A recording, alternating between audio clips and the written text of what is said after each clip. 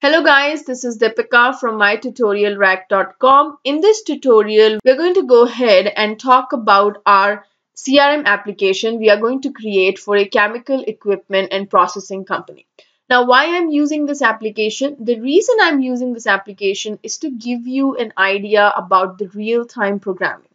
We are not just going to work on the standard objects and learn about the Apex programming using those standard objects, we will also, we're going to go ahead and create some custom objects for our chemical equipment and processing company. And, and we will learn about Apex using this application. So we will work on this application in this particular course. Now what this particular application consists of. This chemical processing CRM application consists of two custom objects. One is called as the customer and the second one is the invoice. So one particular customer can have many invoice related to him. So there is a master detail relationship of, we are going to create between these two objects. Now, what are the fields of the customer object? So in the next tutorial, we are going to go ahead and create these two custom objects. One is the customer and the second one is the invoice. And these are the fields of the customer object that we are going to add. So we're going to have a field called active, which will tell us that is this a customer, a active customer or an inactive customer. We're going to add a field which is a customer description, which will give you information about the customer. So that is going to be a text field.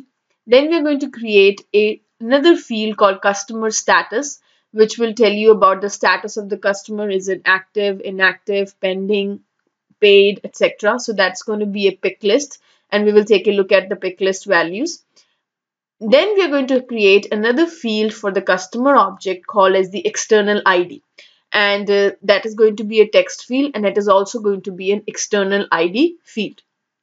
So I'm not going to show you what is a custom object and how to add fields because I'm assuming you are very much familiar with the Salesforce out of the box features.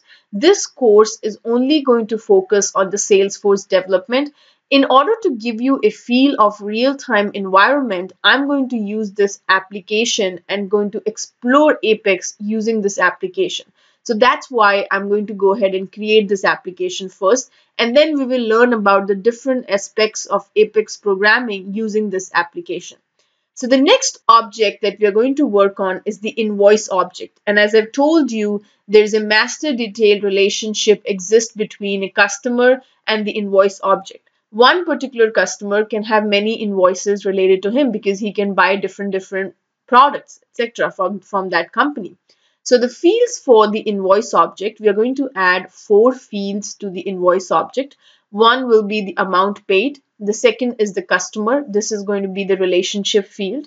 The third field we are going to create is the description about the invoice and the fourth field we're going to go ahead and create is the status field, which will tell you about the status of the invoice. Means if somebody has paid it, somebody has not paid it, is it pending, unpaid, or paid.